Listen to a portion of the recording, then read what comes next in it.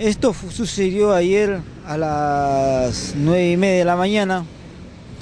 La policía metropolitana llega sin pedir, sin llevar ningún un papel previo al desalojo. Llega con la fuerza mayor a irrumpir la propiedad.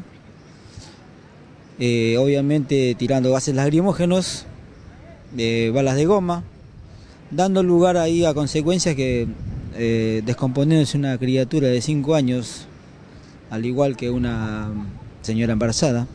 No se percataron en, traer una ambulancia porque no, hubo ni ambulancia hubo acá. Viendo todos los acontecimientos, bueno, tuvieron que llevar de emergencia a la criatura y a la señora al hospital Argeriz. Posteriormente tuvieron a recuperación, pero bueno, por lo menos ahora están estables. En sí somos 30 familias de un total de ciento y tantos que, vivimos acá en el predio. El gobierno de la ciudad, por sus representantes, se ha acercado a ofrecernos ciertas propuestas y bueno, que no, nos convencen a nosotros.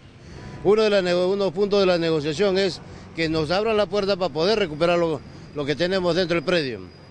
Los otros, lo la propuesta del gobierno de la ciudad, es cierto monto que nos están ofreciendo, que es realmente insuficiente ante la necesidad el que lo que eh, pase en este momento alquilar un departamento. Porque en un departamento de mil, 1.200 pesos, 1.500 pesos, eso es lo más barato que nosotros conseguimos. Y lo que nos está ofreciendo el gobierno no nos alcanza ni siquiera para eso. O sea, nos ofrecen dos cuotas de 600 pesos, que es nada.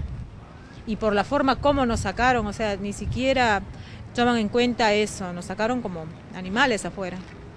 Eh, como usted ve, todas las cosas tiradas, la lluvia mojó las cosas, los artefactos, porque somos personas de bien nosotros, trabajamos. Digo esto porque se tomará como que estamos en una casa, como han puesto en muchos diarios, el conventillo, que vivimos. A nosotros nos estafaron, nosotros no vinimos a abrir la puerta y nos metimos de prepo, nos estafaron. Entonces, me parece que como seres humanos tenemos algún derecho.